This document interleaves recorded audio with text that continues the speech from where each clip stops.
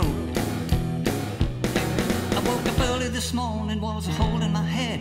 The fun had begun, and I was feeling half dead. There I was, reclining in my rocker, reeling in my rocker, waiting for the break of dawn.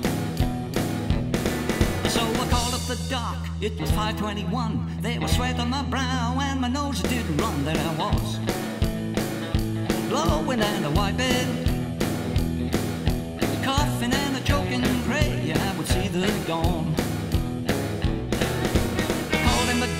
It was 5:43. I needed some friends to come and care for me. There I was, ringing and a pleading ringing and a pleading, but my friends had all stayed home.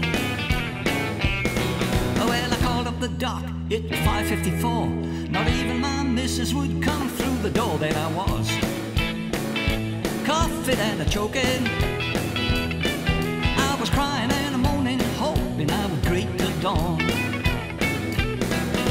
I called him again, was 6.05. He said I was lucky to still be alive. Are you washing? washing and drying. If you're not a washing, then you are the devil's spawn. I called back the doc, it was 628. Now even my kids won't come through the gate, I'm so lonely. A sitting on the sofa, all my civil rights have gone. Well, I don't have a job and I'm feeling so poor. The landlord just said I can't stay no more. Health care, I get it through the welfare. Living on the dole now, all my savings are gone. Well, I made it till evening, but to my dismay, all my freedoms have been taken away. It's no fun. I'm tied up in a lockdown. Still reeling in my rocker, hoping I survive till dawn. Well, I do believe it, but then I think I don't.